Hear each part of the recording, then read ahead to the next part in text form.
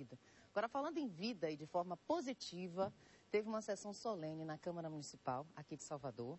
A TV Itapuã foi homenageada pelos 50 anos de fundação e o nosso diretor executivo, Paulo Dropa, recebeu o título de cidadão soteropolitano. Veja como foi a cerimônia. A sessão contou com a presença de várias lideranças políticas, além de convidados especiais. Funcionários da emissora, repórteres e os apresentadores Raimundo Varela e José Eduardo prestigiaram a homenagem da Câmara Municipal aos 50 anos da TV Itapuã, na abertura, houve a execução do hino nacional.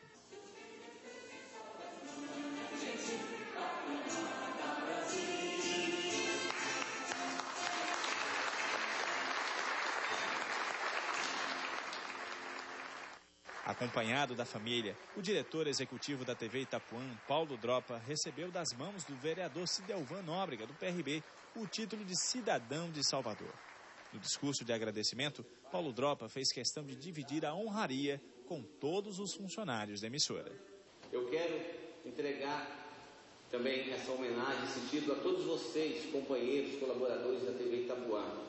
Estou há dois anos à frente desse trabalho aqui na emissora e não teria esse reconhecimento, não estaria recebendo essa homenagem se não houvesse o empenho dos senhores e senhoras.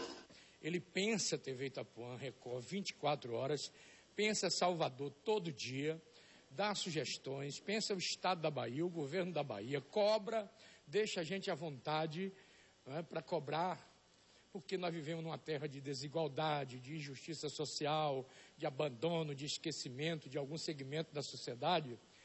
E ele mantém essa porta aberta, a porta de esperança aberta. É, pelo menos é um bálsamo.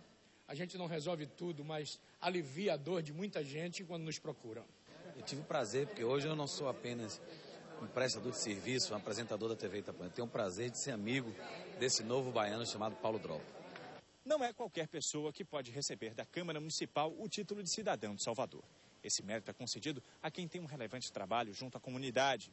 À frente da diretoria executiva da TV Itapuã desde 2008, Paulo Dropa tem coordenado e ampliado importantes projetos sociais da emissora, como o Balanço Geral nos Bairros, capitaneado por Raimundo Varela uma colaboração reconhecida e aprovada por unanimidade pelos vereadores. Nosso amigo Paulo Dropa, que tem, é, tem mostrado ao povo baiano o carisma, o respeito e a credibilidade que a TV tem passado ao povo, vem justamente da diretoria pelo trabalho que ele tem feito pela nossa cidade. Paulo Dropa é uma pessoa que merece, é uma pessoa que tem feito um trabalho com um dinamismo imenso. Em reconhecimento ao trabalho que ele vem fazendo à frente da TV Itapuã, não só ele, mas toda a equipe de comunicação, né? Paulo Dropa nasceu em São Paulo. É formado em administração e marketing e pós-graduado em comércio exterior. Antes de assumir o comando da TV Itapuã, dirigiu emissoras em Goiás e no interior de São Paulo. Um título de cidadão soteropolitano, isso aí é gratificante, né? não tem preço, né? Tem um valor muito grande. Estão adotando um novo filho aí, né? Uma nova família para essa terra abençoada. Então é muito gratificante. espero é, colaborar, agregar valor aqui na cidade de Salvador, porque esse é o nosso papel, nossa finalidade. Não é ser mais um, mas é somar aos que já estão aqui. E com certeza o senhor soma muito, né? Todo mundo sabe que sem um bom comandante, um barco não vai para lugar nenhum. Então, parabéns, senhor Paulo Dropa, em nome de toda a equipe da TV Itapuã, de toda a equipe do Baianoá, que esse título lhe traga cada vez mais estímulo para o senhor continuar o seu bom trabalho, viu?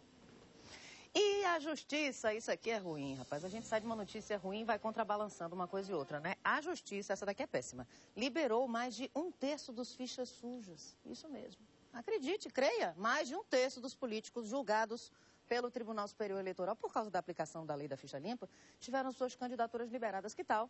Depois de serem considerados fichas sujas por tribunais regionais eleitorais estaduais, cerca de 200 candidatos recorreram ao TSE. Já houve decisões em 164 casos, com 59 julgamentos favoráveis aos políticos. Fichas sujas.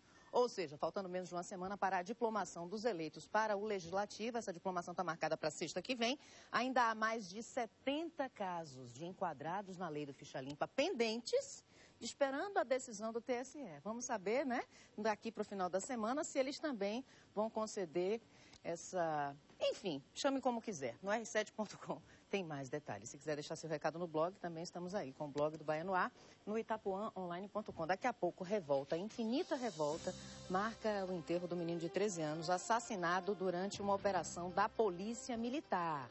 Mais uma vez, a Polícia Militar está sendo acusada de matar um inocente. O menino levou quatro tiros na barriga. Essa é a mãe, que há 15 dias perdeu o marido. Agora perdeu o filho caçula dessa forma. Também tem os detalhes sobre o PM que foi assassinado a facadas. Olha ele aí, pelo vizinho. Isso por causa de uma discussão banal sobre vaga de estacionamento. O vizinho pegou, deu três facadas no policial militar que foi enterrado ontem. Daqui a pouco as imagens e mais detalhes. Agora, imagens do Alto de Ondina às 6 horas 45 minutos. Podemos ir para Garibaldi, Dante?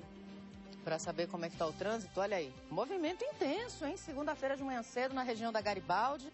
Nós voltamos com mais informações ao vivo em instantes para você.